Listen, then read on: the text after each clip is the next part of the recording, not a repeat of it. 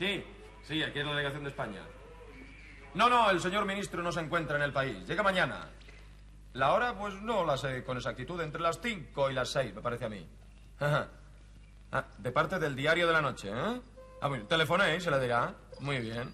Sí, sí, de acuerdo. Mm. Encantado de saludarle. Adiós. Adiós. Vamos. Octavia. Octavia. Mándeme, don Ángel. Octavia, siéntese, por favor.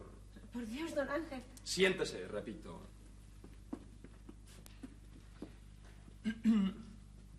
Octavia, usted es el alma de esta legación porque usted lleva muchos años en la legación, ¿verdad? Ya he perdido la cuenta. Desde el naufragio de la Cardona. ¿Naufragio? Bueno, de alguna manera de llamarse. Verá, Octavia, yo estoy muy reconocido a usted, pero he de hacerle un ruego. Ya sospecho a qué se refiere.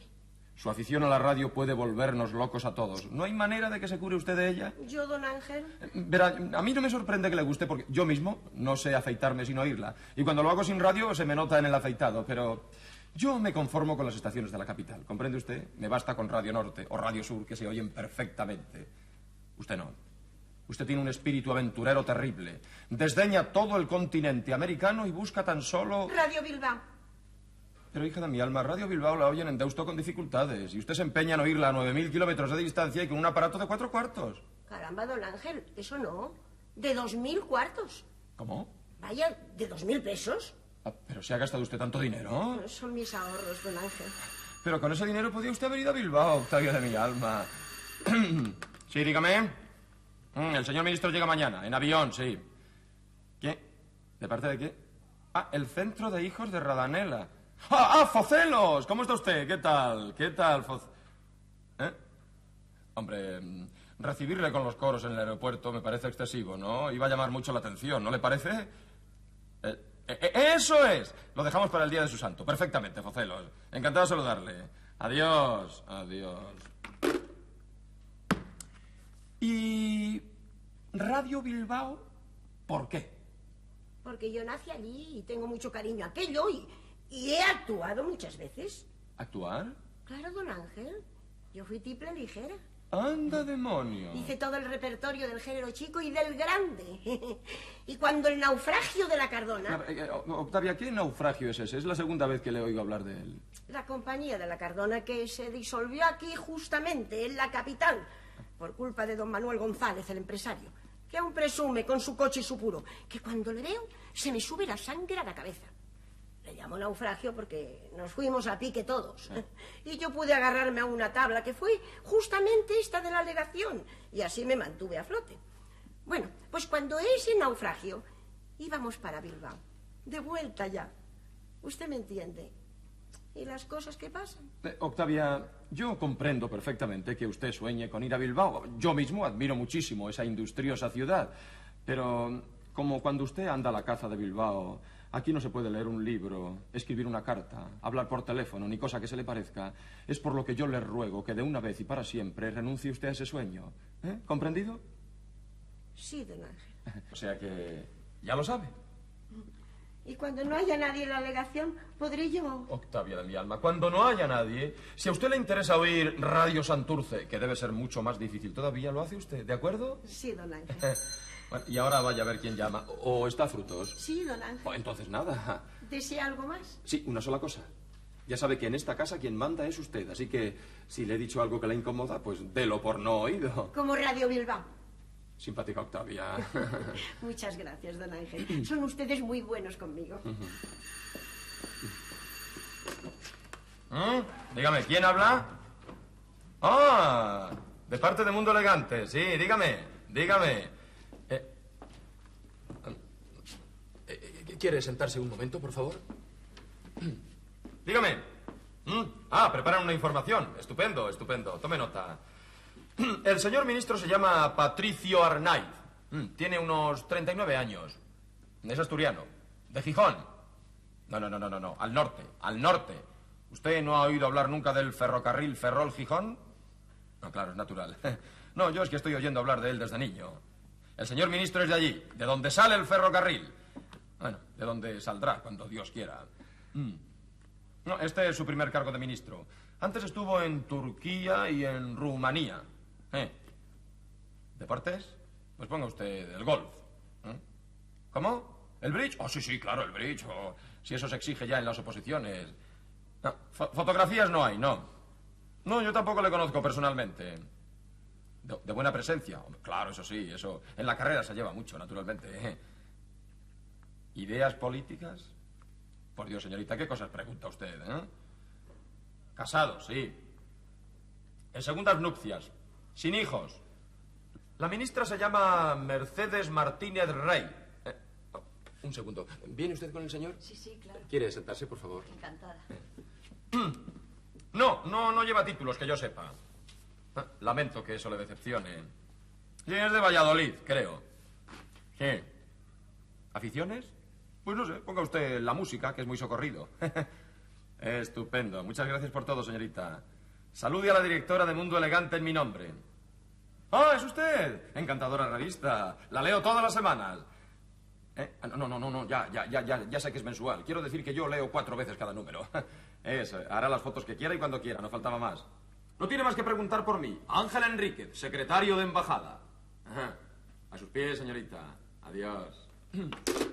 Ah, perdone si les he hecho esperar. ¿Puedo servirles en algo? Pues sí, creemos que sí. Un momento, por favor, un momento. Octavia, Octavia.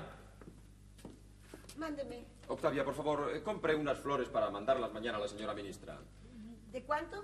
Yo Pues no sé, yo creo que con unos 50 pesos está bien, ¿no le parece? Lo que usted diga, don Ángel. No, Ve usted lo que hay y en ningún caso pase usted de 60. Muy bien. Bueno, bueno, bueno, bueno. Pues ustedes dirán en qué puedo servirles. Bien, pues en primer lugar, permítame que le dé las gracias por la descripción encantadora que ha hecho usted de nosotros. Oh, por Dios, no faltaba más. Eh, ¿Cómo dice? Yo personalmente he salido muy favorecido en cuanto a figura.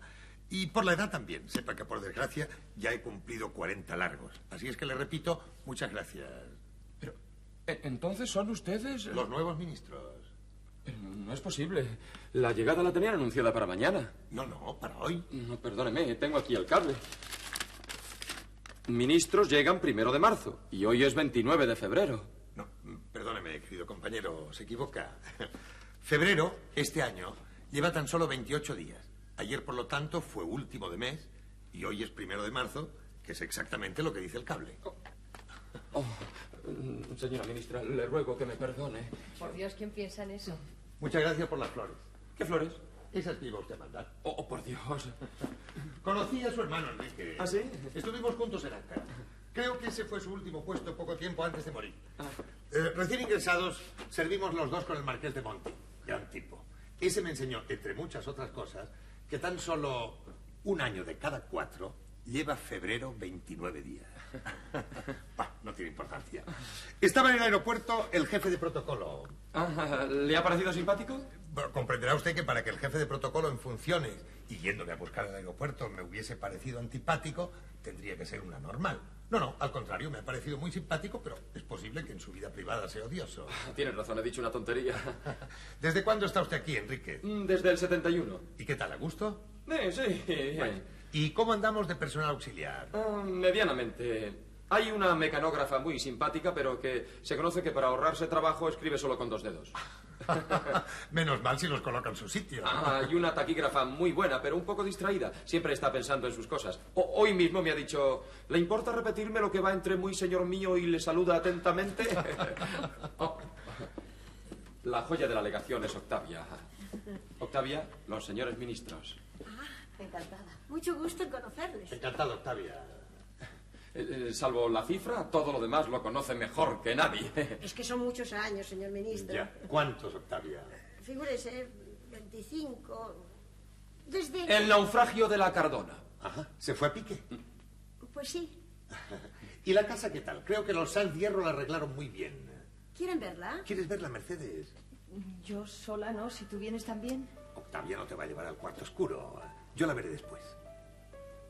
¿Y por qué no ahora? Porque quisiera hablar con Enríquez un momento. Ve tú primero. ¿Quieres? Hazme el favor. Hasta ahora mismo. Bien, y cuénteme, cuénteme, Enrique. Naturalmente he leído sus últimos telegramas. Me los dio el subsecretario hace cuatro días. ¿Desde entonces ha habido alguna novedad? Mm, sí, una interpelación anunciada al canciller sobre la concesión de unos terrenos petrolíferos de parte de uno de los diputados de la oposición. 250.000 pesos. Caramba, buena profesión la de diputado. Naturalmente paga... La Oil Sachs de Refinery. Ya, ya. ¿Y el canciller eh, cómo respira? Pues yo creo que le caemos bien. Sí, a la menor ocasión nos da pruebas de simpatía. Menos mal. ¿Y tiene buena salud? Sí, fuerte, como un toro. Sí, no, no, no. Yo me refiero a salud política. Ah, de eso, señor ministro, aquí todos los cancilleres que he conocido se han muerto de repente. Bueno, quiero decir que hasta el último día hacen vida normal. Y de pronto la guarnición de Anavique o la de Isteva que lanza un telegramita, unos tiritos y a decir adiós al Palacio Presidencial. Bueno, eso cuando hay ocasión, que hay dos veces que tengo noticia en que ni siquiera lo han dado. Vaya por Dios. Sí, pero este canciller pisa muy fuerte y yo no suelo equivocarme. Bueno, pues ya comprenderá usted lo que me trae a este país. Las instrucciones son concretísimas. Conseguir por todos los medios a mi alcance esas concesiones sin parar en barra. Me temo que las de oro van a ser un obstáculo bastante grande. En fin. Señora de Aymat, ¿es esta la cancillera? Mm, La misma que viste y calza. Vestir eh, bastante poco, ¿eh? Calzar acaso más. En fin, eh, ¿cómo andamos de prensa? Pues hay de todo, como en la viña del señor, pero tirando a malo. En la voz de la democracia, todos los días nos saca a relucir lo del indio Jacamazú. Ah, ¿y qué fue eso? Un mal modo que hubo, al parecer, en 1544 de parte del capitán Oria y del que salió empitonado el indio Jacamazú. Desde entonces nos lo echan en cara a la mejor ocasión. Entendido. ¿Y colonia española qué tal? Eh, abundantita, abundantita. Unos 12.000 solo en la capital, repartidos en 3.200 asociaciones. Tocan a menos de cuatro. Oh, ¡Qué barbaridad! Así hay 3.200 señores que pueden llamarse presidentes de algo. Buena gente, eso sí, muy buena gente. El día de Santiago los reunimos y unas tostaditas, una copita de vino español. Eso sí, carta blanca a Focelos. ¿Focelos? ¿Quién es Focelos? Focelos es un señor de Mondoñedo que ha organizado un coro regional. Y a la menor ocasión, muñeira que te pego o negra sombra y tente tieso. Es el único peligro de la colonia, por eso en determinadas fechas le dejamos que se desahogue. Muy bien, Enrique, muy bien. Bueno, pues, nada más. eh, dígame, ¿a qué hora se acostumbra almorzar en este país? A la una, señor ministro. ¿Y en Madrid? Oh, en Madrid hemos progresado muchísimo. Ahora en Madrid se puede decir que se almuerza antes de cenar. Preciosa, realmente preciosa. No puedes imaginarte, Patricio, algo estupendo. Y parece ser que es mérito de Octavia. Por Dios, señora. Eh, ya le dije que era la joya de la legación. Ha de disculparme, faltan muchos detalles. Como no les esperábamos a ustedes hasta mañana. Pues que habría sido esto mañana. Tranquilícese, todo está que da gloria verlo. Pues nada, nada, enhorabuena, Octavia. Muchas gracias y a mandarme, ya saben. Yo, con su permiso, señor ministro, voy a dar unos telefonazos relacionados con su llegada. Centros españoles, prensa, etcétera. Hable desde aquí si quiere. No, no, no, no, gracias. Utilizaré el de mi despacho. Como guste. Así no manda nada más. Nada más. Y perdóneme, señor ministro, no olvidaré nunca lo que escasean los años bisiestos. Pero por Dios, ¿quién piensa en eso? Con su permiso, señora.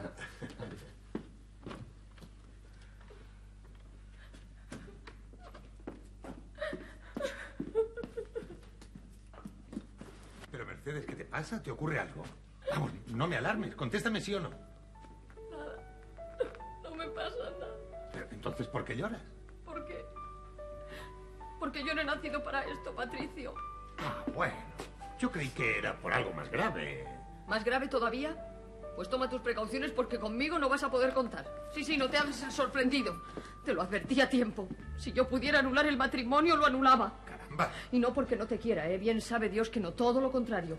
Por quererte mucho, por tener un miedo espantoso de hacerte daño, de ponerte en ridículo. Pero ¿cuándo dejarás esos complejos tontos, mujer? No lo son.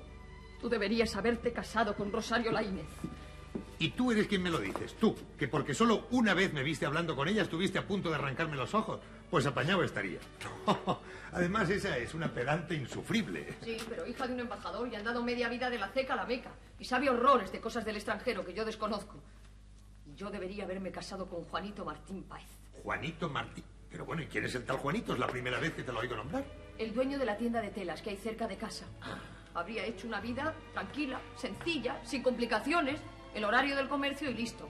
Además, saber siempre dónde lo tenía, de 10 a 1 y de 4 a 8. ¿Te parece poco esto?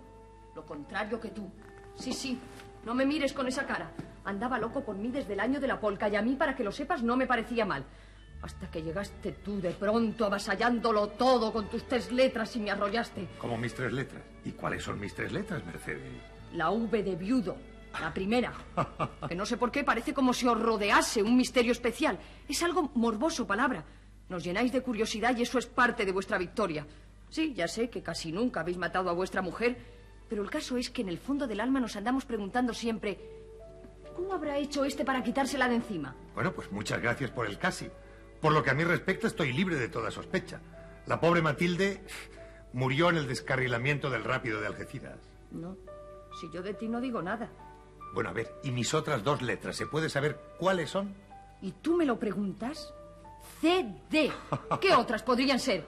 Muy puestecitas delante y detrás del coche, que debería estar prohibido que con esas dos letras os dirigierais a ninguna muchacha, porque nos deslumbráis y eso es jugar con ventaja. Y por si fuera poco, recuerdan las iniciales de Christian Dior. Y claro, con esas bazas en la mano, entraste tú por la carretera de Madrid en tu cochecito del demonio, y además descapotado, que es otro abuso de fuerza, y arrasaste media provincia. Y yo ahora estoy pagando las consecuencias. Bueno, bueno, bueno, bueno, está bien. Pero puedes explicarme qué es lo que te ha puesto en ese estado de histerismo. He visto la vajilla del comedor y tiene el escudo de España en cada plato. Bueno, ¿y qué? Yo así, con esa solemnidad, no soy capaz de tomar ni una taza de caldo. Patricio, me sentaría mal. ¿Y ha sido solo por eso? Sí. Ya no he querido ver más.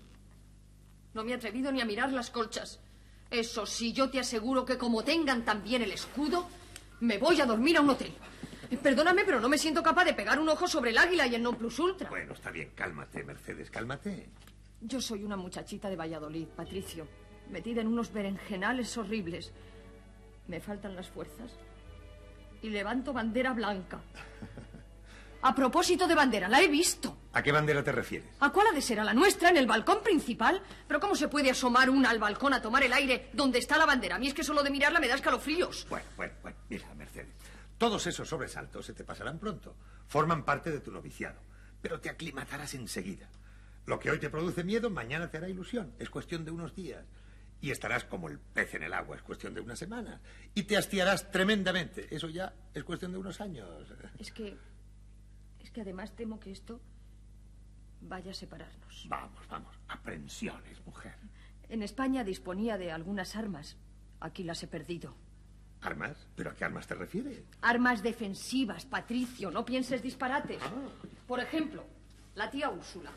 Caramba, no sé hasta qué punto disminuyes a tu tía Úrsula considerándola nada más como arma defensiva. Ahora que está lejos la pobrecita, puedo decirte cuánto la he llorado muchas veces. Cuánto me ha consolado como si tuviese 12 años. ¿Pero por qué? Por celos. Soy celosa, lo sabes. Me es imposible remediarlo. Me sentía más segura en Valladolid, te lo confieso. Primero porque conozco mis posibles rivales y aunque la vanidad no me pierda, se me antoja que ninguna de mis amigas me lleva demasiada ventaja. Todas sabemos aproximadamente las mismas cosas, y vamos a los mismos sitios y nos vestimos en la misma modista y tenemos el mismo acento. Aquí ya la cosa varía. Bueno, pero eso es natural, mujer. Lo vas a creer una tontería, pero voy a tener que hacer un esfuerzo atroz para soportar que alguien te llame Patricio. Patricio. Patricio, ¿me prometes no hacer caso de la S? Convendrá que desde el primer momento te des cuenta de que en la vida diplomática a la galantería le corresponde su tanto por ciento.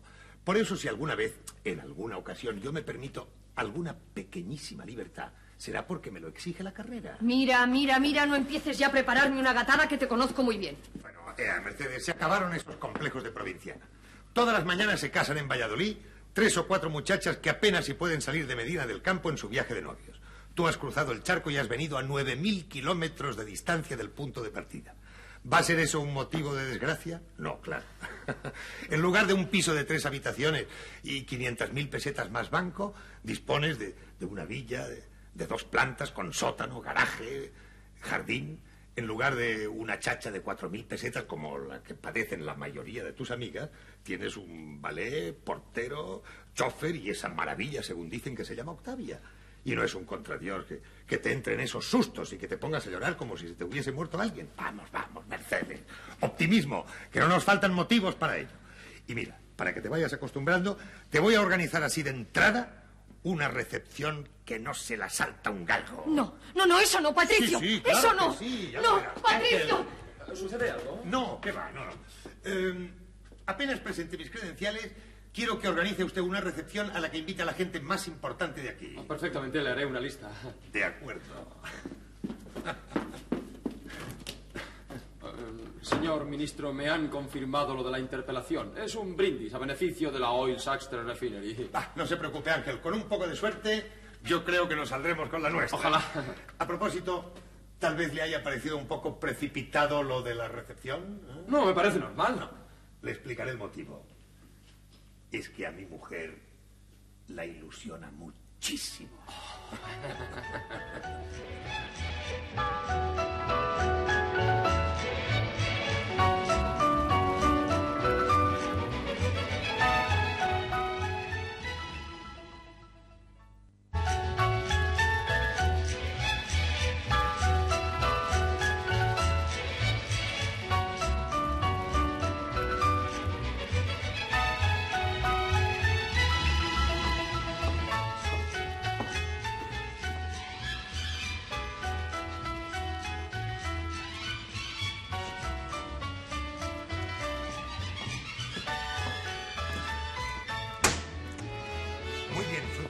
felicito. Todo ha salido muy bien, ¿eh? Muchas gracias, señor ministro. Y haga el favor, feliciten mi nombre en la cocina. El buffet ha sido espléndido. Lo haré encantado, señor ministro. Muchas gracias. ¡Oh, magnífico, magnífico! ¡Qué éxito! No ha faltado nadie de importancia. Ministros todos. Bueno, salvo el de Marina, que se excusó. No sé qué falta hace en este país un ministro de Marina. Barcos no tienen. Bueno, pero por algo han de empezar y lo han hecho por el ministro. Casos conozco yo de ministros que han terminado con la Marina. Eso es mucho más grave. ¿no? Embajadores, la baraja completa. Y de mujerío, no digamos. Bueno, quise decir que... Si realmente había mujeres guapísimas. Oye, por cierto, ¿quién era la del traje de organza beige con un tres cuartos de guipur? Convendría, Mercedes, que no utilizaras tanto tecnicismo en tus descripciones, porque Ángel y yo nos quedamos sin Alvis. ¿eh? Sí, hombre, sí, la rubia del abriguito corto. Ah, bueno, eso es otra cosa. La rubia, Ángel. Oh, haber empezado por ahí, sí, claro, con una especie de boinilla. ¿eh? Caramba, con la boinilla. 20.000 pesetas en pluma de paraíso. Oh, sí, ya sé. Es la ministra de Cultura Pública. Empezó de mecanógrafa y acabó casándose con el ministro. Lucida carrera. Oh, no, no crea que tan lucida, porque antes fue amiga del director de universidades y luego del vicesecretario. O sea que en realidad puede decirse que siguió el escalafón con bastante rigor. Victoria Ruiz Anoy es su nombre. ¡Qué éxito, qué éxito! Es verdad, y ha sido un éxito tuyo, Mercedes. Has estado admirable. ¿De verdad? ¿No me engañas para que me quede tranquila? No, no, te lo aseguro, y además que aplomo. Que acierto para elegir el saludo, la frase adecuada, la palabra de despedida que convenía a cada uno, y con una veteranía que me ha dejado asombrado. Pero bueno, digo yo, en Valladolid se sabe de eso. Oye, Patricio, ¿qué idea tienes tú de Valladolid? no seas boba, mujer. Lo hago para poner a prueba tu amor regional. Comprenderás que para mí Valladolid es la ciudad por excelencia. Tú naciste allí y eso me basta. Desde ese momento Valladolid ya está cumplido conmigo. Vamos, quiero decir que aunque no tuviese el Museo de Esculturas Policromada, ni la Semana Santa, ni hubiese sido corte de las Españas, Valladolid ya habría hecho lo posible para que yo le rindiese mi homenaje. Pero si además resulta que es escuela de diplomacia, imagínate tú dónde pondré yo a Valladolid. No exageres, Patricio. Respetuosamente, pero con el mayor entusiasmo, suscribo los elogios del señor ministro. Va, va, sois unos aduladores. Ay, eso sí, esa gente tiene un apetito. ¿Viste las lubinas, Patricio? Sí, me recordaban la flota inglesa cuando visitaba Villa García. ¿Sabes lo único que se salvó de la quema? Los huevos hilados y los espárragos. es que en sociedad las cosas que se comen con dificultad generalmente tienen muy poco éxito. Pues el caviar tampoco es muy sencillo de comer y a las ocho y cuarto había desaparecido ya. Verás, Mercedes, los concurrentes a los cócteles forman una masa fluida y circulante que solo se hace compacta alrededor de las estrellas de cine, de los ministros y del caviar, como en este caso. ¿Qué le parece, querido ministro, si damos cuenta de todo en un telegrama? Me parece muy buena idea. Redáctelo. Voy enseguida. Con su permiso, señora.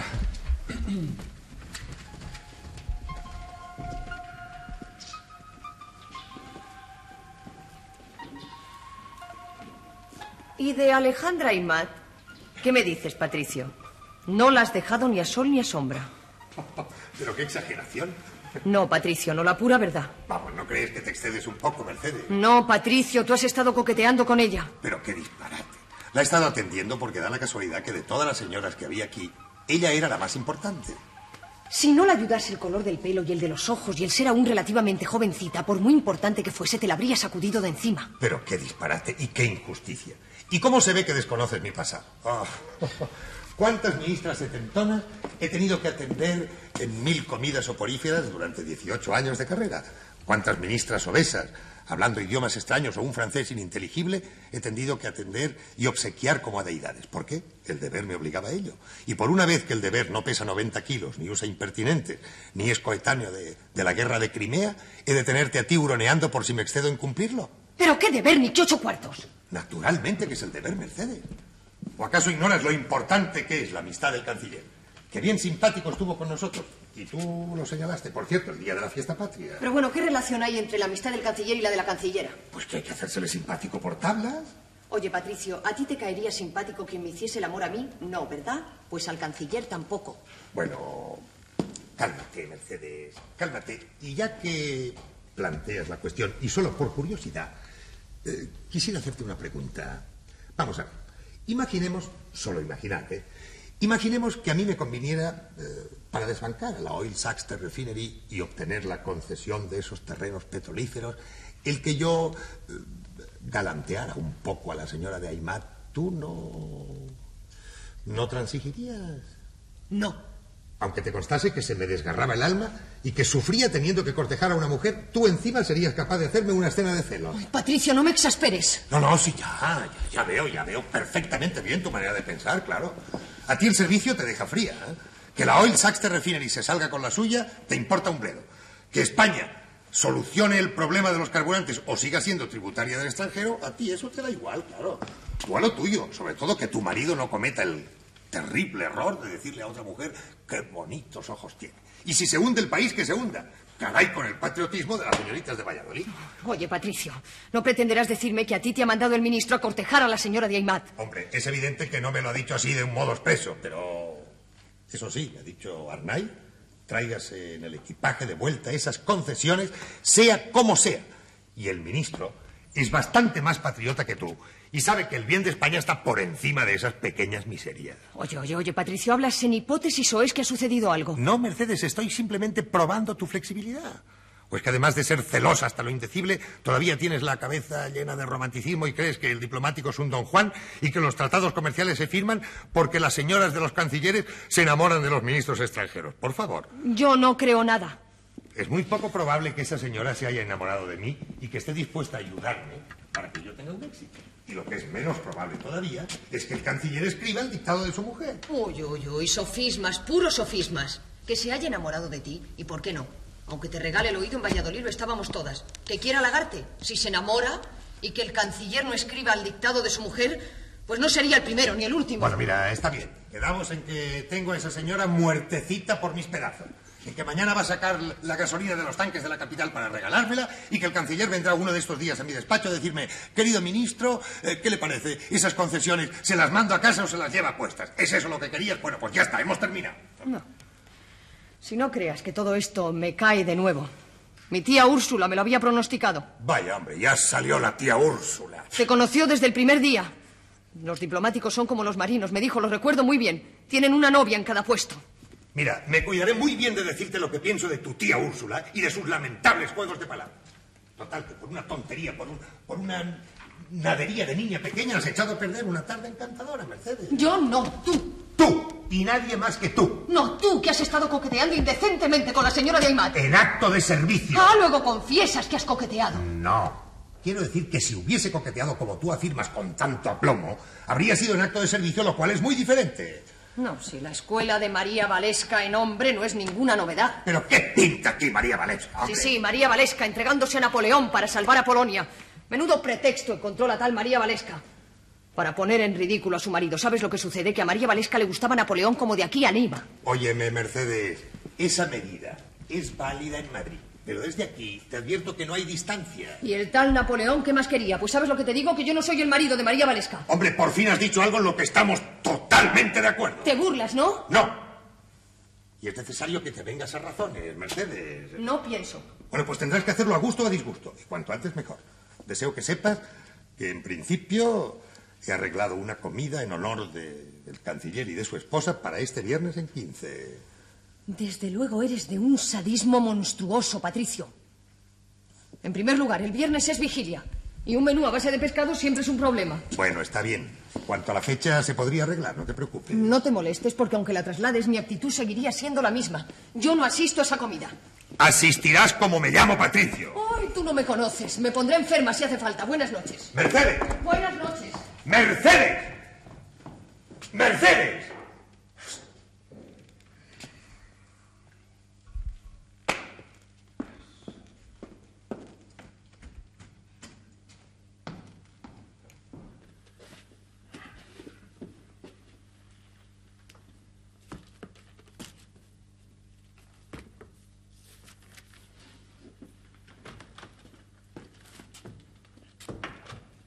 Querido ministro, un telegrama de Madrid. A ver qué dice. Eh, llamámosle atención sobre cotización actual de Nueva York, acciones Oil Saxter Refinery. Embajador Washington aconseja conveniencia vigilarla estrechamente como reflejo alternativas favorables o desfavorables de sus gestiones cerca de ese gobierno. Embajador comunica bolsa hoy subieron 50 enteros. Bueno, pero queda la bolsa de mañana, la del pasado, la del otro, la del otro. Naturalmente. Y poco de poder si la bolsa de Nueva York no acusa entre bastidores la presencia de Patricio Hernández. Así se habla. Querido Ángel, tenemos que batirnos como sea, pero sin titubeo. Ya sabe que estoy a sus órdenes. El canciller es la clave. Eh, Eso sí, La presencia de su esposa en el cóctel de hoy es alentadora. desde luego. Bueno, pues todavía debo darle otra noticia. En principio, han aceptado una comida para dentro de 15 días. ¡Estupendo, señor ministro! No, por Dios, no. No me trate con tanta ceremonia, hombre, por favor. Llámeme Arnaiz a secas. O simplemente Patricio. Y si no, mejor, tuteame. Ahí está. Vamos a andar con tanto protocolo, hombre. Al fin y al cabo, yo fui muy amigo de tu hermano. Y los dos somos de la carrera, no como otros que... Querido ministro, muchas gracias por esa prueba de confianza. Nada. Y ahora mm, he de confesarte una cosa. A la cancillera, o yo sé muy poco de esto y creo que sé bastante, la ha resellado hoy el ministro de España. Pero cállate, hombre, por Dios.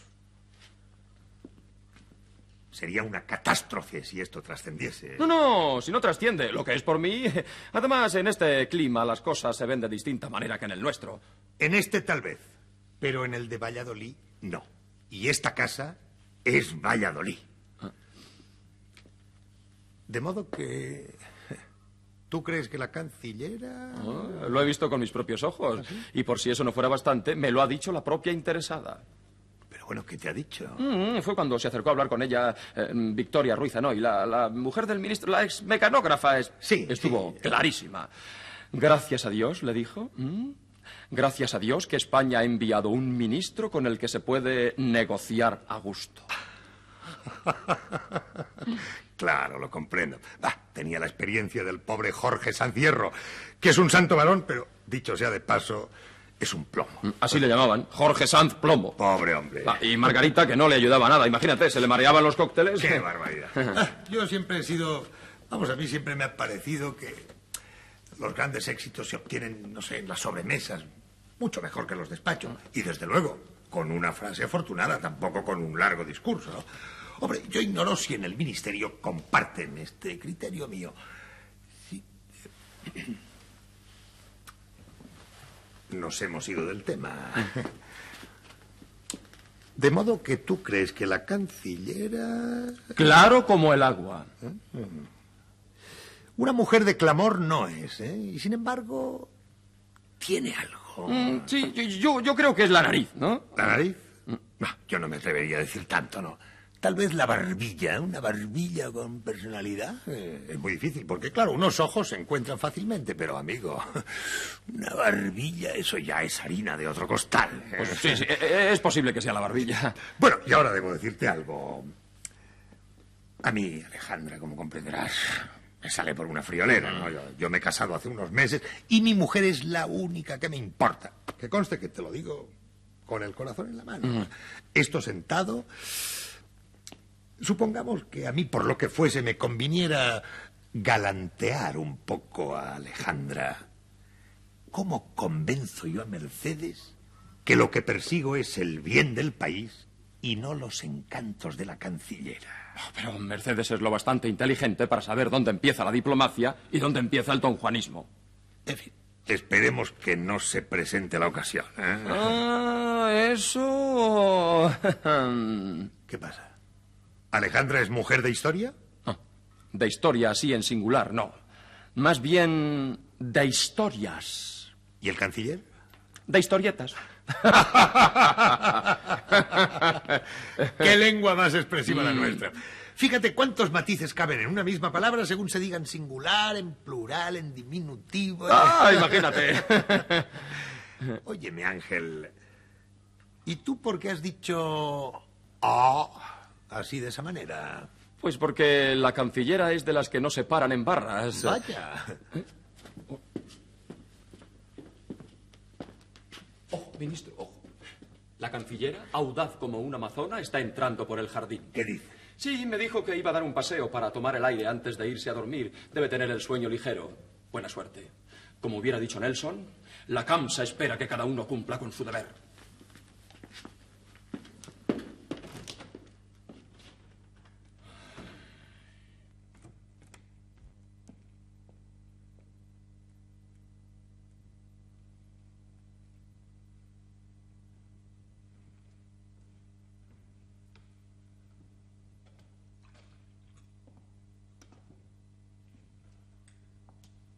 Manos arriba. Oh, ¡Qué divina aparición! ¿Pero de dónde sale usted, señora? Estaba acostada en las sombras, esperando que los dueños de casa se descuidasen para saltarla. Siéntese, hágame el favor. Voy a ver si mi mujer todavía no se ha acostado. Mercedes, Mercedes. Siéntese, Alejandra, por favor. De ningún modo. Pasaba de vuelta de mi paseo nocturno. Vi luz y pensé que no sería demasiada la osadía de entrar. Al contrario, ha tenido usted una excelente idea. Eh, estaba un poco intranquila, se lo confieso. ¿Me permite? Si no faltaba más. eh. No sabía si había olvidado o no mi pitillera. Pensaba en telefonearle, pero me pareció más perfecto. Ah, claro, ha hecho usted muy bien. eh, Y además la ha encontrado. ¡Qué suerte! Ya lo ve. Ya me voy más tranquila. Nunca se me hubiese ocurrido buscarla aquí. Como estuvimos conversando, se conoce que sin darme cuenta. Claro. Es una pitillera preciosa. Ay, tiene para mí un valor sentimental. Fue un regalo del embajador Arias Garduqui. Cuando se produjo el incidente aquel por la cuestión de límites, que usted ya conoce sin duda alguna, Sí, sí, claro, claro. me la regaló el mismo embajador. Agradecido a mi intervención tan amical, Ya. vea lo que dice dentro. A Alejandra Imat, que tanto luchó por borrar las diferencias entre nuestros países. Es una dedicatoria que debe enorgullecerla. Pues sí, es cierto. Eh, las mujeres estamos para eso. ¿No lo cree usted, Arnaiz? Naturalmente. Para estrechar lazos, para neutralizar la vilanía masculina. Exacto, tiene usted toda la razón, En Alejandra. fin, me voy. Por Dios, ¿no quiere de verdad quedarse a tomar una copa? Mercedes, Mercedes. No, créame, es mejor que me vaya. Y discúlpeme esta aparición. Oh, esta divina aparición. Oh, qué lindo adjetivo. Eh, mañana dan un cóctel en Uruguay. Espero que nos veamos. Lo dan a las 7. Claro que sí, allí nos veremos. ¿Cómo no estuve ayer en Brasil? Estuve. Lo que pasa que antes fui a Holanda. Se conoce que por el camino nos cruzamos. Ah, no le vi, lo siento. Hasta mañana en Uruguay. Patricio. Hasta mañana en Uruguay. Termino ya. ¿Le ha parecido largo? No corto como un suspirito, pero nada de empezar de nuevo. Buenas noches, Patricio. Buenas noches.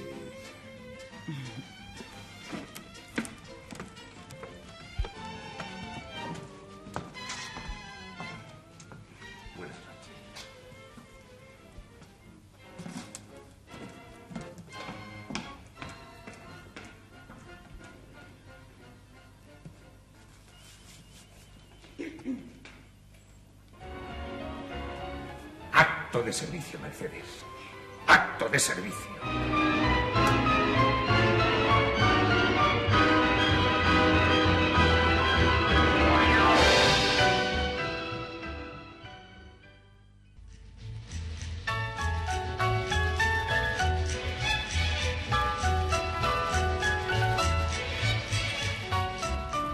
¿Y le ha prometido una propina si lo averigua?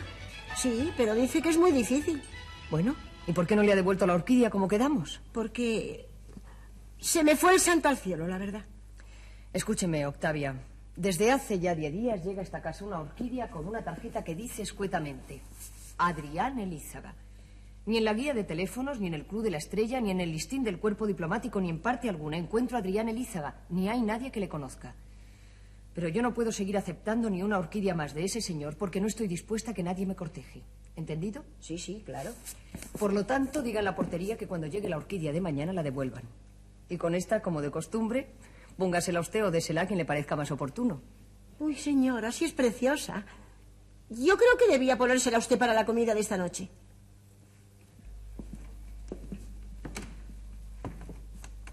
No, yo no asisto a esa comida. Pensaba que... No, no, no asisto.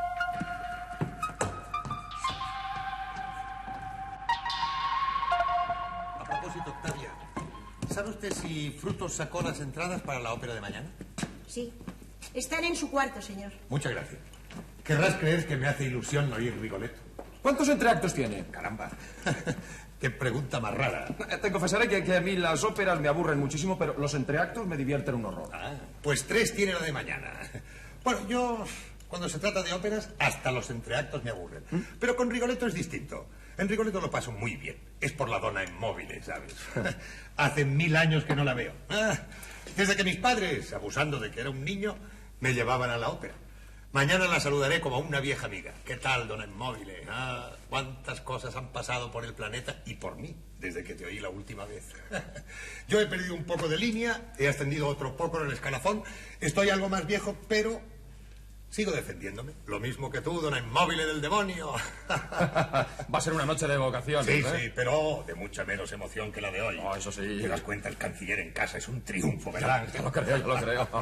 A propósito, hiciste la mesa, ¿cómo distribuiste los puestos? No, no había problemas. A la derecha de Mercedes el canciller, a la izquierda el ministro de Cultura Pública. A tu derecha la cancillera, a tu izquierda la ministra, ya sabes, la mecanógrafa, esa que habla siempre por correspondencia. Sí, Luego sí. los ministros de Holanda, los Antúnez, Corina Blanco, Florian Sanchís, el argentino, Luchi, la viudita que le adora, y por último el poeta Arenales, que es de un cursi que aflige. Hombre, a propósito, ¿qué pinta en todo esto el poeta Arenales? Ah, Es un protegido de Ruiz Anoy que le está muy agradecido porque le dedicó un soneto a la inclusión del griego en su nuevo plan del bachillerato. Ya. ¿Y es un buen poeta? No, malísimo. Pero según dicen es el poeta más rico del mundo. Mientras a Onassis no se le ocurra editar un libro de versos. Eso sí, el, el tal Arenales a la hora del café es peligroso. ¿Así por qué? Recita. Ah, bueno, si se desahoga con un soneto... Lo malo es que creo que tiene escrito un elogio a la enseñanza superior en tres cantos. Caramba, eso ya sería mucho más grave. mu- Eh, Octavia, haga el favor de decirle a la señora que baje inmediatamente. Los invitados están a punto de llegar. Pero, ¿la señora cena? Pero ¿cómo si cena? Creía que no. Tiene razón, Octavia. Yo no ceno. Bromeas, ¿no? No, de ningún modo. En la vida he hablado con tanta sinceridad. ¿Así pues? No ceno. ¿Está claro? Pero bueno, Mercedes, y eso me lo dices ahora. Eso te lo dije en cuanto me señalaste quiénes serían tus invitados.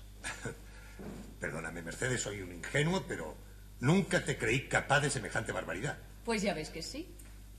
Bueno, mira, Mercedes, la cena es a las ocho. Por lo tanto, no hay un minuto que perder. Te ruego que te vayas a vestir inmediatamente. Es una orden que te doy como marido por una parte y como representante de España por otra. Me perdonarás que no conceda beligerancia a ninguno de los dos. Te lo ruego, Mercedes, tengamos la fiesta en paz. Vete a vestir inmediatamente. He dicho que no. Está bien.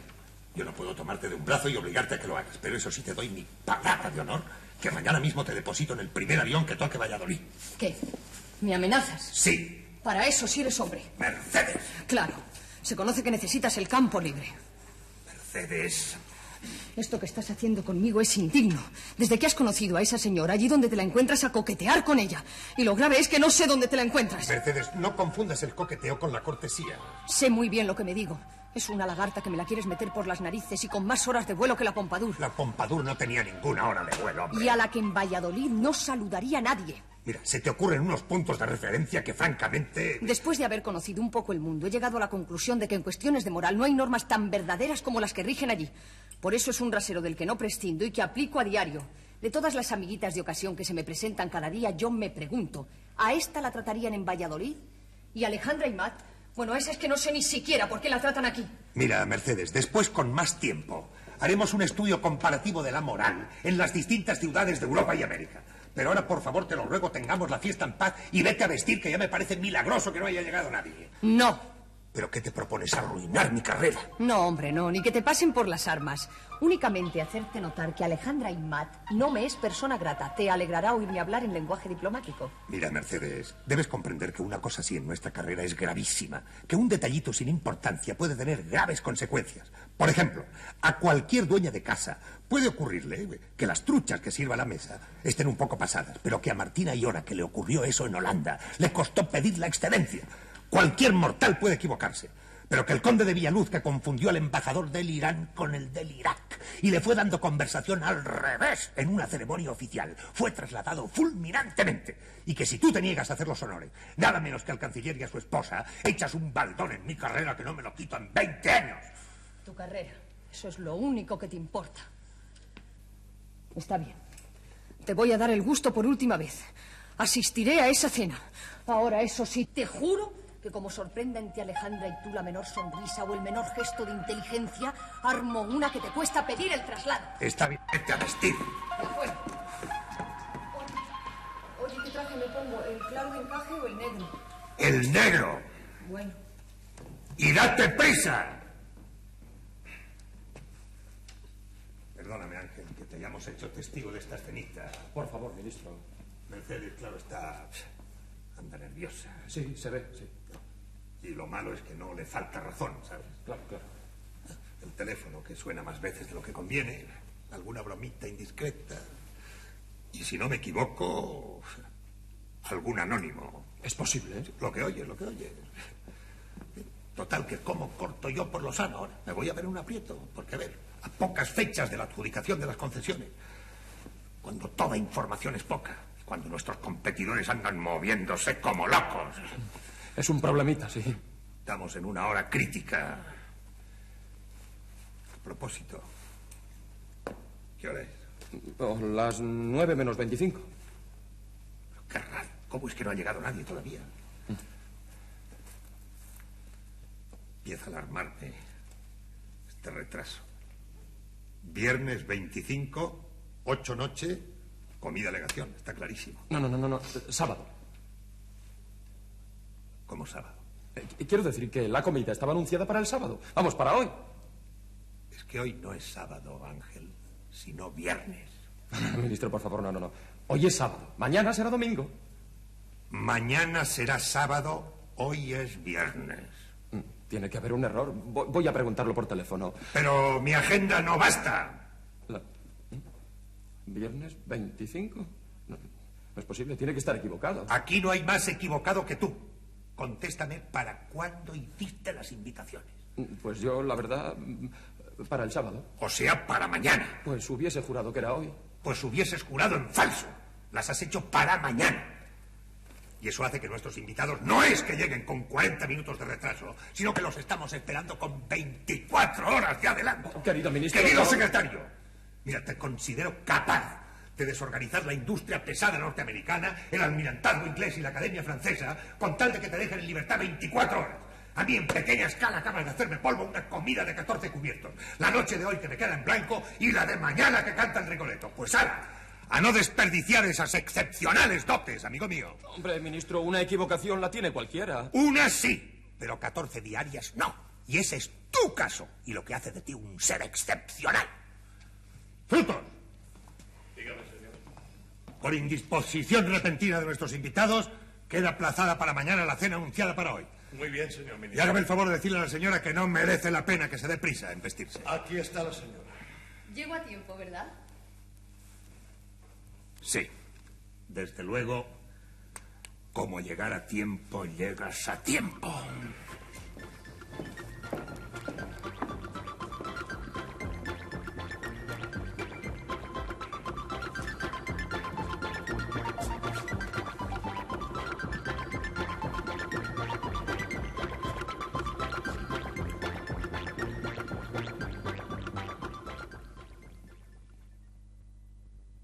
¿Otra orquídea?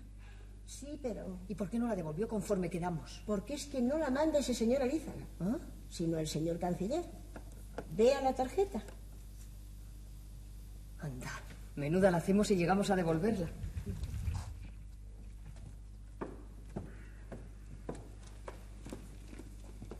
Fijaos qué preciosidad de orquídea me manda el canciller.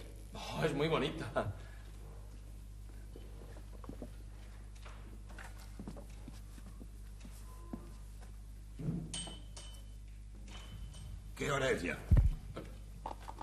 Las ocho y diez. Se retrasan, ¿no? Ah, unos minutos. Pero se retrasan. Sí, se retrasan.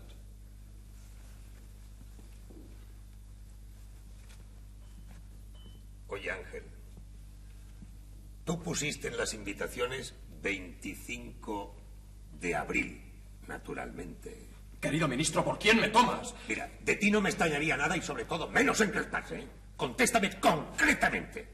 ¿De abril o de mayo? De abril. De este año, por supuesto.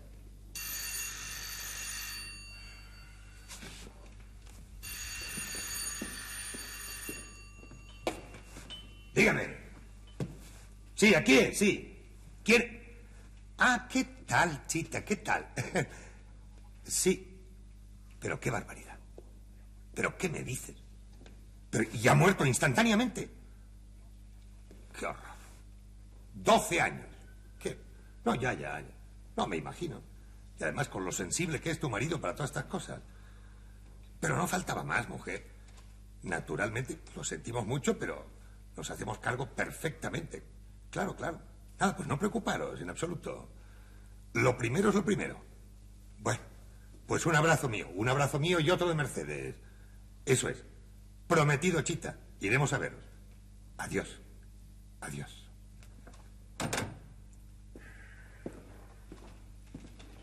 ¿Quién era? ¿Chita Túnez? Sí. ¿Y qué le pasa? Se excusan por no poder asistir. De que mala suerte la furgoneta de correos les acaba de atropellar al perro. Están desolados. Pobre. Cuando la mala suerte se ceba en una gente.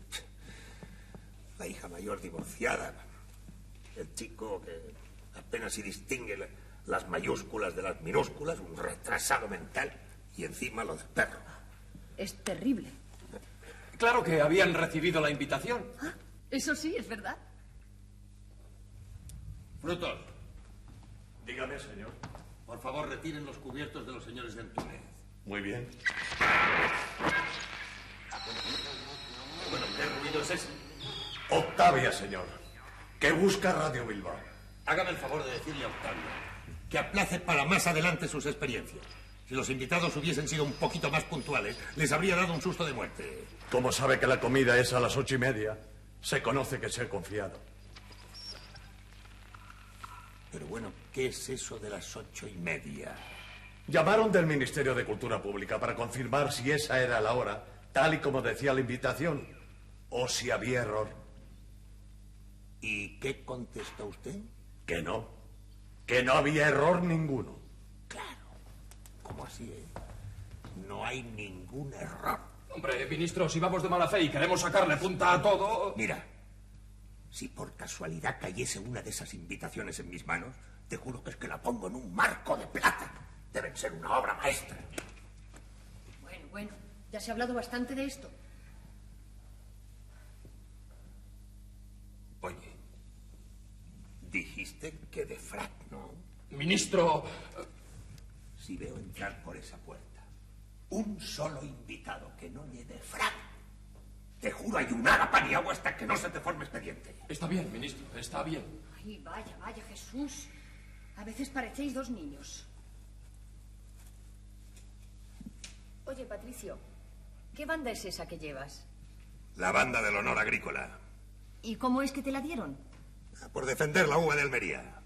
Ay, cuéntame, cuéntame. Hombre, no creo que haya nada interesante que contar. Por el tratado con Alemania de 1968, que decían que allí no les gustaba la uva de Almería, yo me empeñé en que les tenía que gustar, nada más.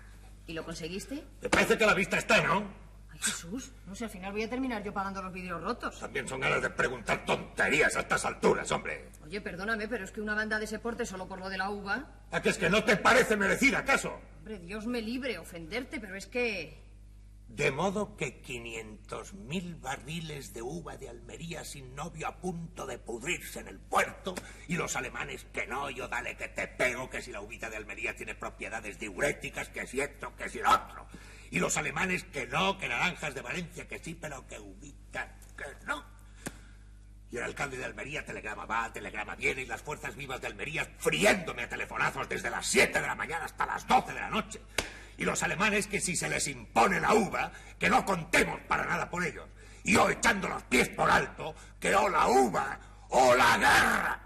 Y los alemanes que hocican y se tragan sin pestañear los 500.000 barriles del demonio. Y en Almería campanas al vuelo, procesiones con la patrona, bailes públicos, la gente abrazándose por las calles sin conocerse, en fin, lo natural. Porque gracias a mí habían conseguido vender los 500.000 barriles del demonio. Y en el ministerio, júbilo, felicitaciones, y como es de cajón, esto que ves aquí. Y mira por dónde. Tenía que ser precisamente mi mujer quien viniese a decirme que a su juicio se habían excedido y que la banda del honor agrícola tenía que ser algo muy tirado para que me la hubiesen dado a mí, única y exclusivamente por lo de la uva de Almería. Uy, uy, uy, Patricio, estás muy excitado, pero te advierto que no te tolero que me hables en ese tono, vaya. Lo que sucede es que te he dicho una verdad como un templo y eso siempre escuece. Y si ahora resulta que es así, como se ganan las bandas, pues mira, yo también podría tener una y la tía Úrsula no digamos. Tanta diplomacia y tanta tontería. Yo te doy piritas y tú me das carbón de Gales. Yo te doy agrios. Por cierto, dais mucho de eso. Y yo te doy productos manufacturados, igual que en el colegio cuando era niña. Te cambio tres calcomanías por un retrato de Gary Cooper. Regateo puro y San se acabó. Pues ¿sabes lo que te digo? Que ya estoy harta de que os las deis de genios y que me parece una injusticia que nos hayáis prohibido a las mujeres el ingreso en la carrera. ¿Qué te parece? Y lo de las concesiones, que es la base de la comida de esta noche y que nos lleva a mal traer. Que, que tu tía Úrsula también la habría sacado así con la punta del capote. Pues no me sorprendería nada. Bueno, mira, no discutamos más porque sería inútil. Oh, las ocho y media. ¡Qué puntualidad!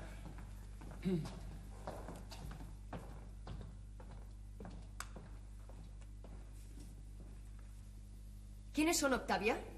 Los señores ministros de Cultura Pública, creo. De frac, ¿no? No, no. De smoking.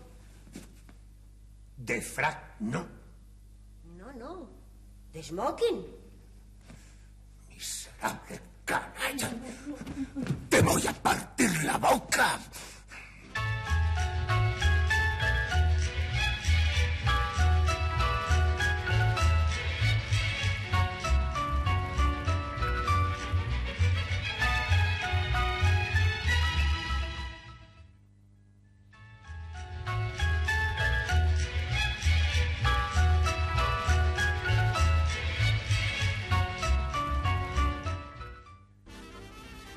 Óigame, Arenales, ese soneto lo encuentro, óigame, sensacional. Lo compuse en una de mis posesiones de Playa Nueva. Poca cosa. Es su decreto lo que yo hubiera querido escribir.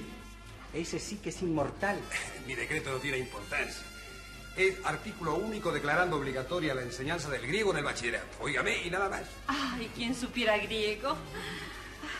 Usted sí lo sabe, ¿verdad, Alejandra? No, no. Pero latín sí, estoy segura. No, no. Qué raro, lo hubiese jurado. A ustedes les gusta leer, claro. Ah, yo es que no puedo hacerme una permanente sin leer.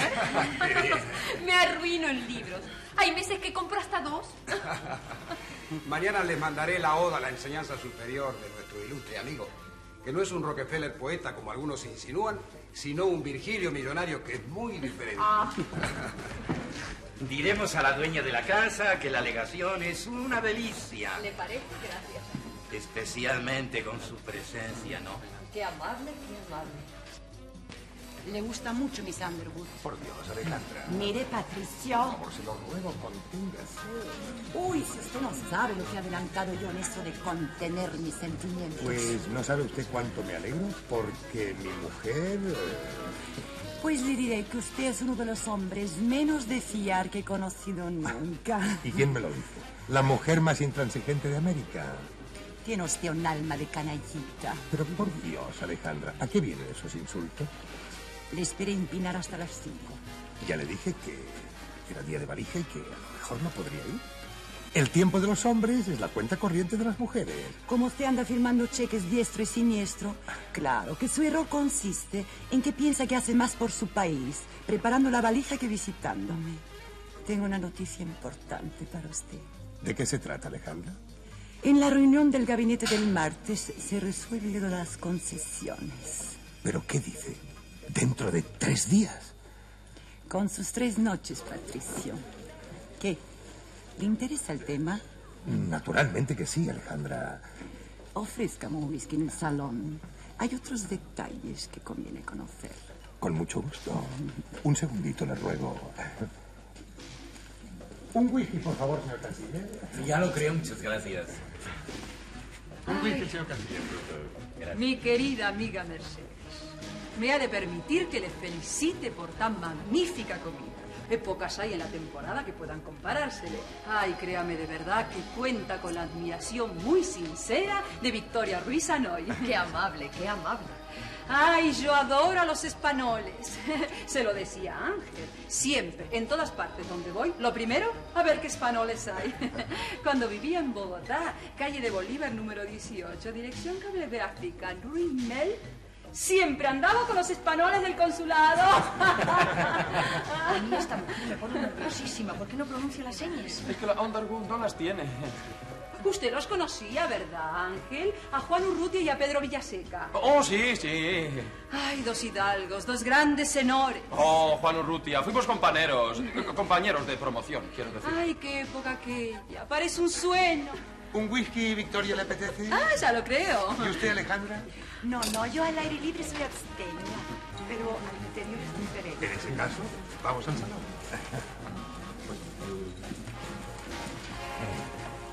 El aire libre, el jardín, la naturaleza, un rinconcito íntimo como este y su compañía. A eso le llamo yo el paraíso. Qué simpático.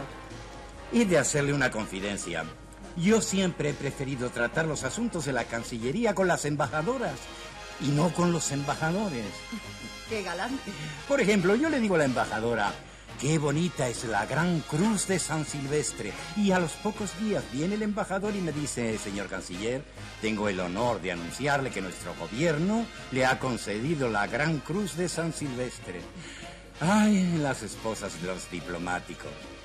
Qué delicado organismo. ¿Realmente cuántas cosas podría usted contar si quisiera? ¿No se le ha ocurrido nunca escribirlas? No, no, yo no. ¿Memorias quiere usted decir? ¿O Sí. así, Sí, más sí. o menos? No, no, no, no. Me caen muy antipáticas las memorias. Yo guardo papeles, documentos, cartas, eso sí, y que mis sucesores, si eso les divierten, las utilicen el día de mañana. Las cartas que recibo, ¿no? Porque yo creo que he escrito en toda mi vida tres o cuatro no más. Yo creo que todo lo malo que pasa en el mundo es por escribir cartas. No, no, nada de cartas. Y si no, ¿por qué Dios nuestro Señor ha permitido que se inventara el teléfono? ¿Ah? y, y a propósito de teléfono y de las cartas, ¿sabe usted de quién he recibido una carta hoy mismo? ¿No? Ándele, piense, por favor. ¿De Europa o de América? De América. ¿Del centro, del sur o del norte? ¿Del norte? ¡Ay! Pero qué manera de averiguar tiene Mercedes. ¿eh? Es usted temible, ¿eh? Juego mucho a las adivinanzas, no se lo niego. Y conteste que es una de las reglas del juego. Que sí, del norte. ¿Y qué le cuentan los de la Oil Saxter Refinery? ¿Ha visto usted? ¿Ha visto usted lo que le decía antes? qué perspicacia la suya, qué sagacidad.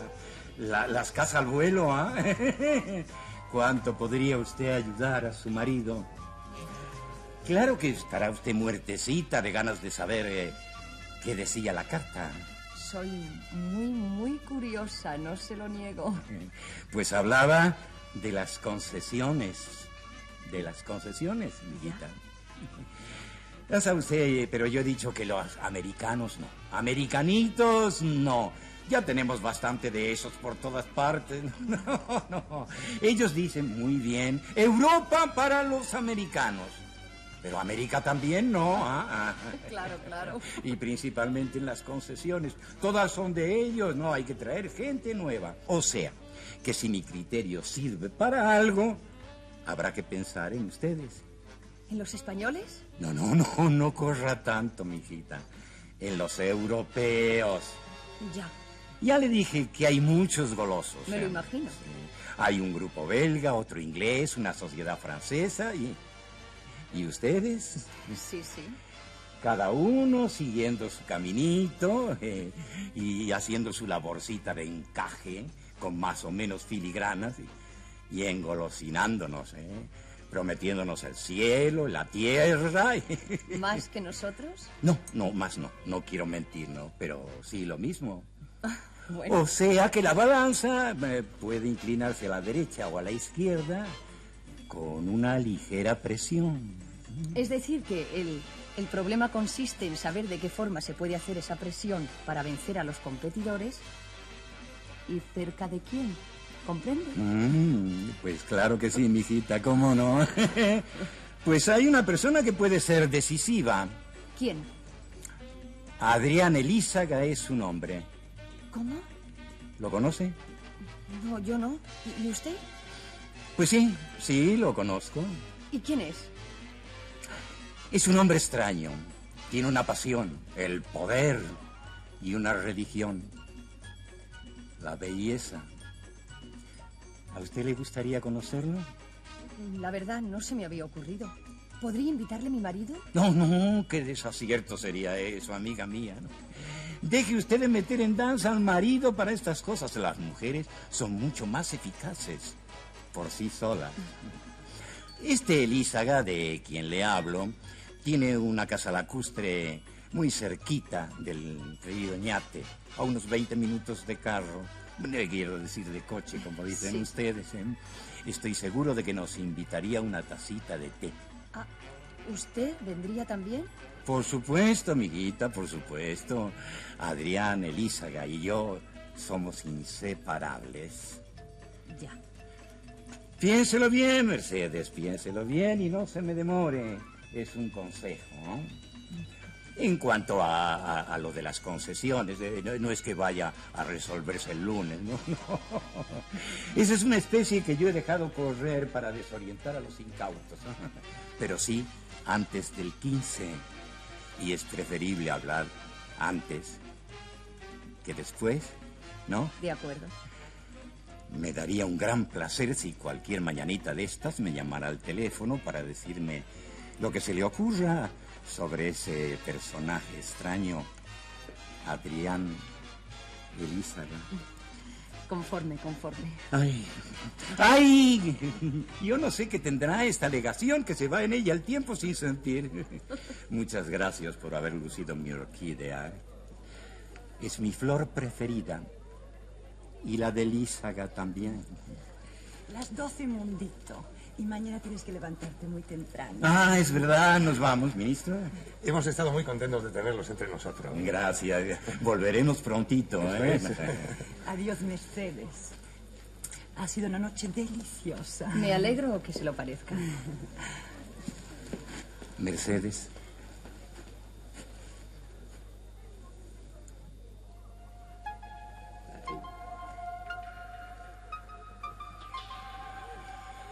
Buenas noches.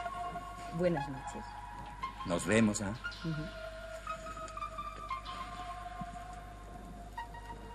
Acto de servicio, Patricio. Acto de servicio. Mis queridos amigos, nuestras más sinceras gracias por tan deliciosa comida. Guardaremos de ella un inolvidable reserdo. ¡Uy, qué rata! XXX, recuerdo, usted me entiende, ¿no? Es siempre suya, muy devota. Adiós. Buenas noches, señora. Buenas noches. Adiós, ministro. Buenas noches, Mercedes. Buenas noches. Adiós, general. Adiós. Muchas gracias por todo, ministra encantadora. Adiós, Florian. Adiós, buenas noches. Adiós, Mercedes. Adiós, Luchi. Tenemos que hablar de muchas cosas. Sí, ya te contaré. Por aquí, yo la acompaño. Gracias. Vaya, por favor.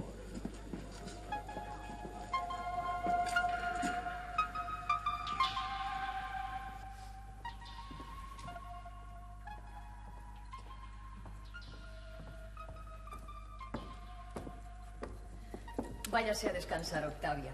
Es ya muy tarde. Buenas noches, señora. Buenas noches.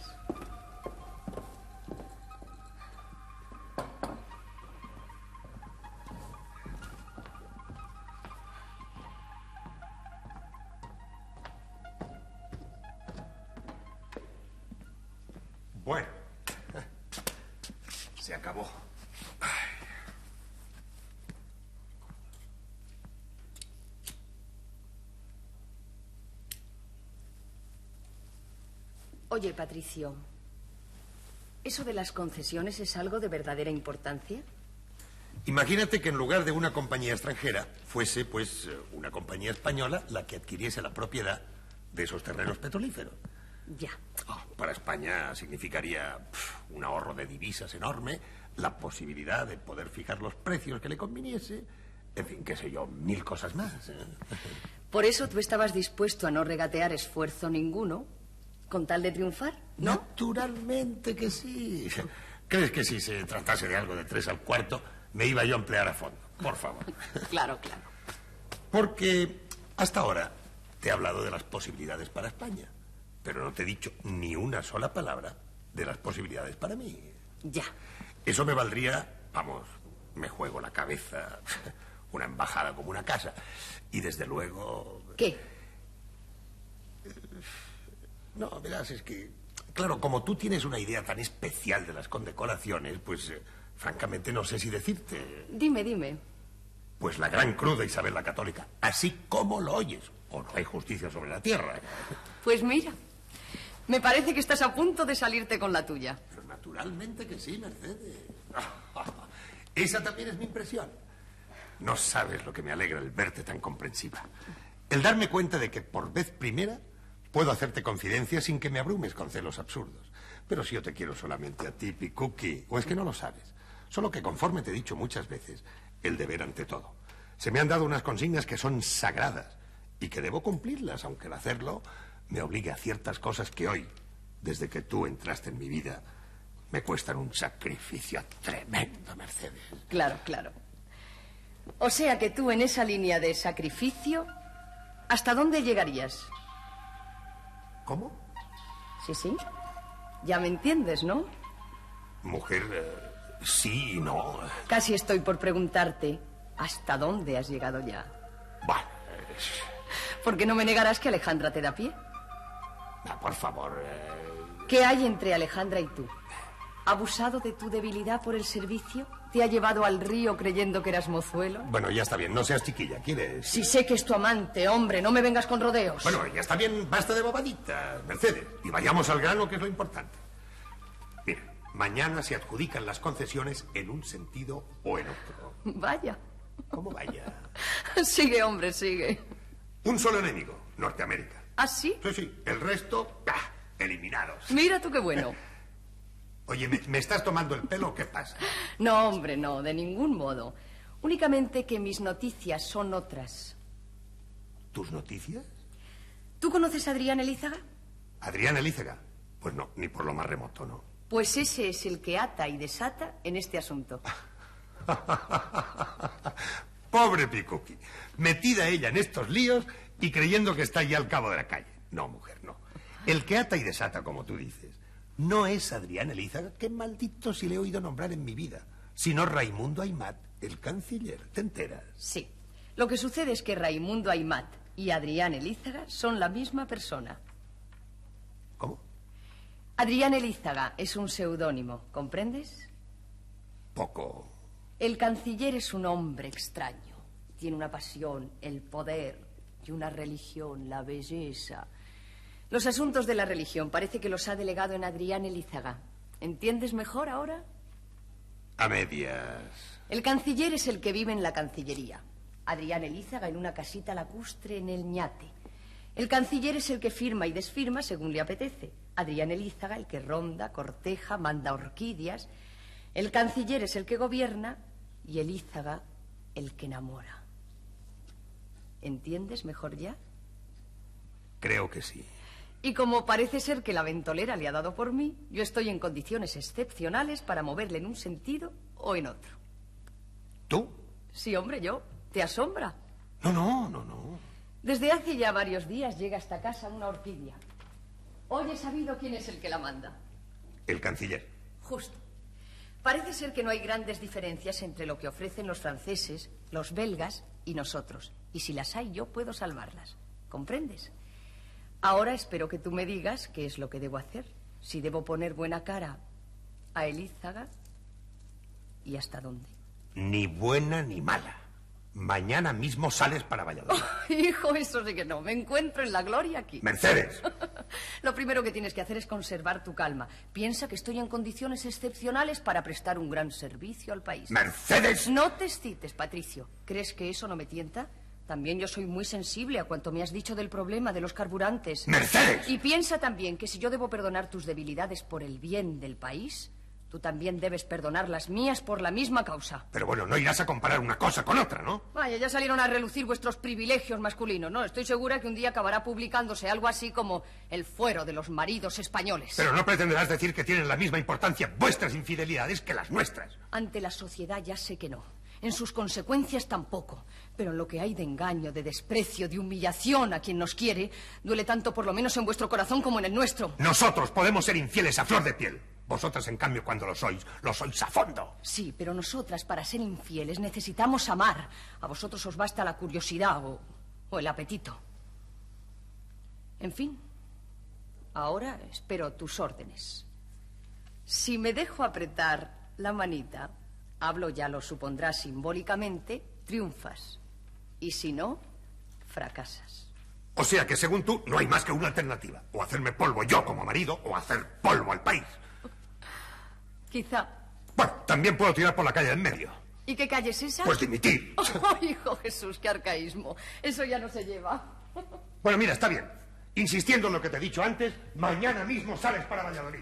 Con lo cual haces polvo al país y cometes una injusticia tremenda, porque ya me dirás qué culpa tengo yo de que el canciller crea que soy la Venus de Milo. Va, si les mando la Venus de Milo en Valladolid se van a volver locos de alegría, claro. Naturalmente me tendrías que embalar, porque así tal y como estoy no me sube al avión ni el lucero del alba, solo atadita de pies y manos. No digas tonterías, Mercedes. La Venus de Milo de manos, vamos, hombre. Bueno, está bien. Pues entonces disponte a vencer a Francia, a Bélgica y a la Oil Saxty Refinery solamente con tus encantos personales. Mercedes. He terminado. Mercedes. Mercedes. Mercedes, hazme el favor. Mer... No hay nada que hacer. Bueno, ¿y ahora cómo le explico yo todo esto al ministro?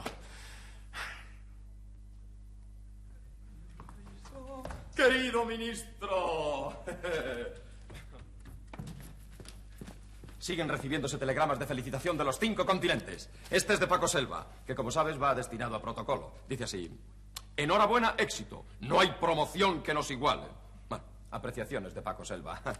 Esta otra es del Círculo de Navia. Es muy lacónico, pero muy gracioso. Dice solamente, olé. ¿Qué te parece? Una bobada. ¿Quién les manda a los hijos de Navia a decir olé?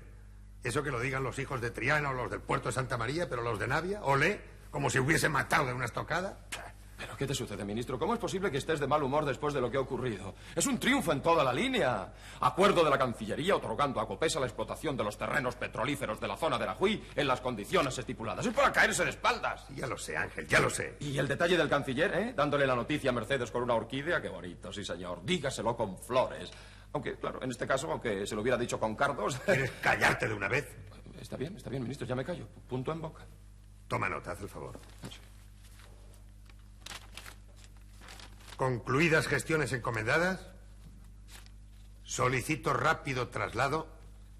Razones privadas expondré personalmente su excelencia. ¿Entendido? Ya comprendo. Mercedes. ¿A qué te refieres? ¿A qué va a ser? Si está claro como el agua. ¿Pero qué es lo que está claro? Lo de Alejandra.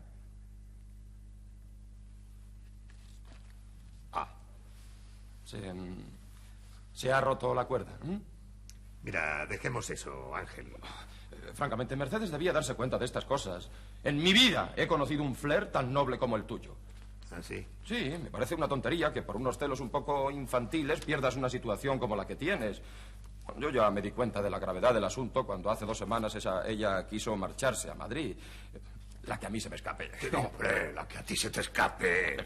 Hasta que te impusiste rotundamente. ¿eh? Muy bien hecho, Patricio, muy bien hecho. Se acabó el viaje. Bueno, está bien, está bien. Comprendo que tus observaciones son muy sagaces y que en efecto no se te escapa nada. Pero de momento cursa este telegrama y hemos terminado. Está bien. Hola, Mercedes. Buenas tardes, Ángel. ¿Contento? Sí, sí, claro. Todos pusisteis vuestro granito de arena, sí, señor. Sin quitar mérito a la contribución del ministro, naturalmente. Pero tú has trabajado lo tuyo, Ángel, como Octavia en su esfera, y Frutos y el cocinero. ¿O es que el tourné farcí de la otra noche no fue un arma de seducción también? Oh, claro, claro.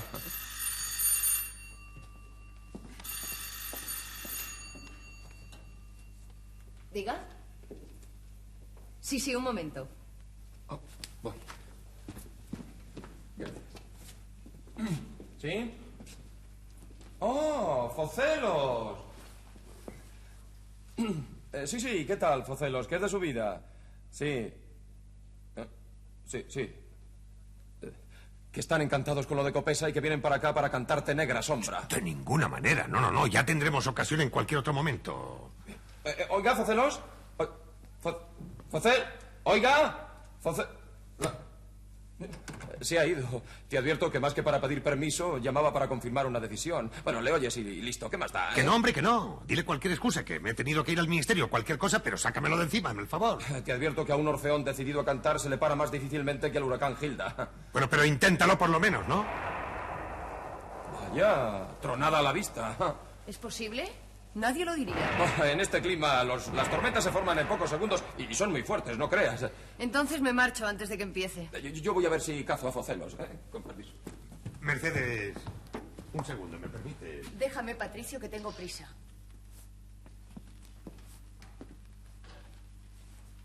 Escúchame, Mercedes. Quiero saber si la rebaja del precio de la gasolina en España se va a hacer o no a costa mía. Ay, Jesús, qué pregunta más rara. Se acabaron las excusas y el escurrir el bulto como lo estás haciendo desde que se ha firmado lo de Copesa. Contéstame concretamente sí o no. ¿Y qué quieres que te conteste? El canciller ofreció las concesiones a cambio de ciertas sonrisas. ¿Has sonreído tú al canciller? Patricio, yo sonrío a todo el mundo. Mercedes. Tú me lo has aconsejado muchas veces. Desgraciadamente para mí estamos hablando de sonrisas convencionales. Contéstame de una vez. ¿Has vuelto a ver al canciller, sí o no, desde la cena de la otra noche? No, al canciller no le he visto. ¿Me lo juras? Ay, jo, ¿qué, qué manera de ponerme contra la pared. Al canciller no le he visto. Ahora, Adrián Elízaga. Pero no quedamos en que era la misma persona. No sé cómo explicarte, Patricio. Adrián Elízaga es el canciller, pero de paisano. ¿Has visto a Adrián Elízaga?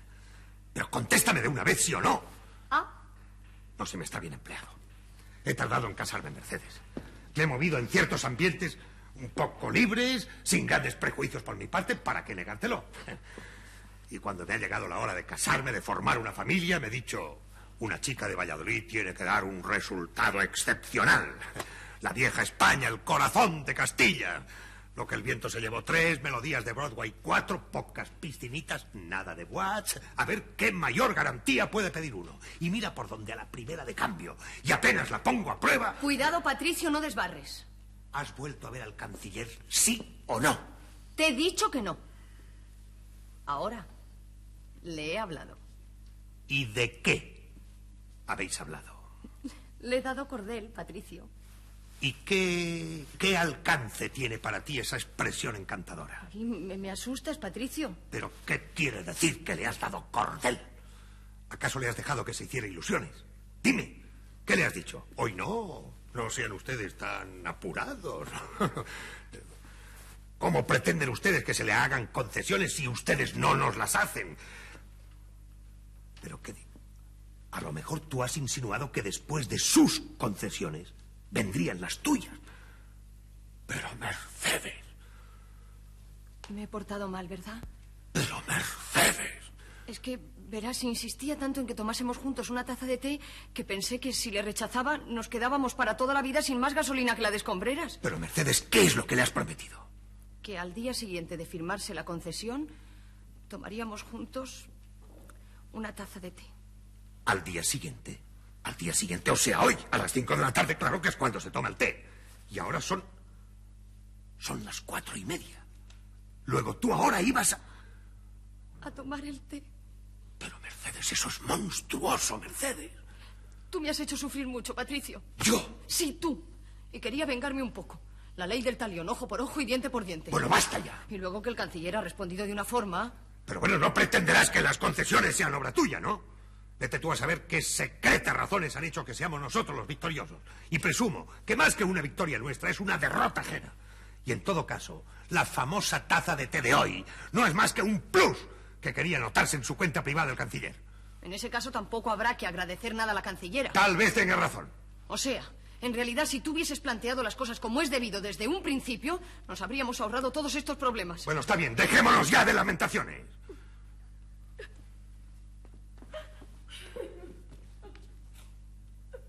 ¿Qué te pasa, Mercedes? Vamos, ¿qué te pasa? Contéstame. Nada. No me pasa nada. Si algo te pasa, ¿por qué lloras? A ver. Es que te vas a reír de mí si te lo digo. No, mujer, ¿cómo me voy a reír? Verás, he, he pensado que si yo hubiese dejado de quererte, estuviera a punto de hacer una tontería, lo primero que sentiría es pena. Estoy segura de que todas las mujeres que han estado enamoradas de sus maridos y que luego se han desenamorado por culpa de ellos, la primera tarde, cuando van a tomar la primera tacita de té, lo que sienten en el fondo del alma es pena.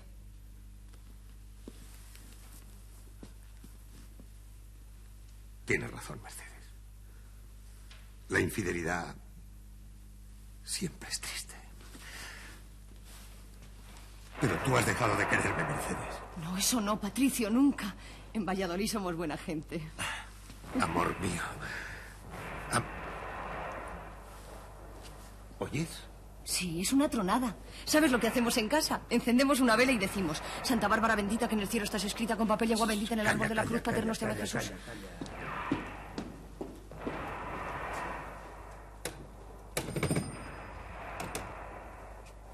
Está muerto. Parece como si lo hubiesen cortado. Ay, no me asustes, Patricio. Sí, cañonazos, ¿no? Eso creo. Oh, vaya tormenta que se prepara, ¿habéis visto? Oye, ¿funciona el teléfono de la oficina? No, no, funciona. Intenté localizar a Focelos y me fue imposible. Un momento.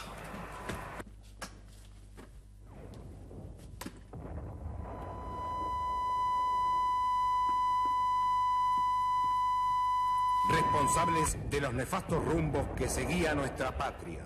El concupiscente, venal y libidinoso ex canciller Raimundo Aymat ha huido de la Cancillería, así como sus secuaces. En estos momentos, las tropas han ocupado los ministerios y el heroico comandante García Benachi, que mandaba la guarnición de Anabique, está siendo encargado por el presidente de la formación de un nuevo gobierno.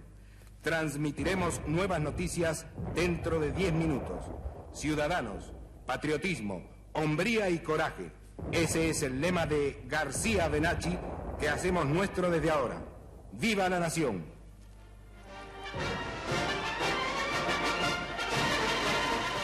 Señor ministro, ¿Qué hay frutos? el señor canciller y su esposa acaban de llegar y desean ser recibidos con urgencia por el señor ministro. Ah, las concesiones al foso. ¿Tú crees? ¿Cómo me llamo Ángel? Voy a recibirles. Sería la primera vez que acertase. Ahora sí que estoy seguro, las concesiones son nuestras. Oye, ¿y, para qué viene aquí el canciller? Pero Mercedes, es que no lo has adivinado todavía. El canciller y su esposa piden asilo. Ángel es la gran hora de nuestra carrera. Diles que España les acoge bajo su pabellón.